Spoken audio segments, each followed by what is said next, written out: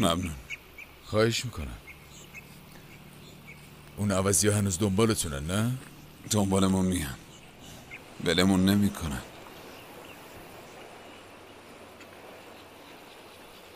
چرا بهمون کمک کردی؟ ببینم این دختره زن فکرت کاراکایاس مگه نه؟ تو از کجا اینا می‌دونی؟ من اهل همونجا می‌دونی اون طرف این خانواده رو می‌شناسن. فکرت و زکار کاراکایا رو وقتی اومدن اونجا دیدم. بعدش فکرت کاراکایا مثل اینکه با این دختر عقد کرده.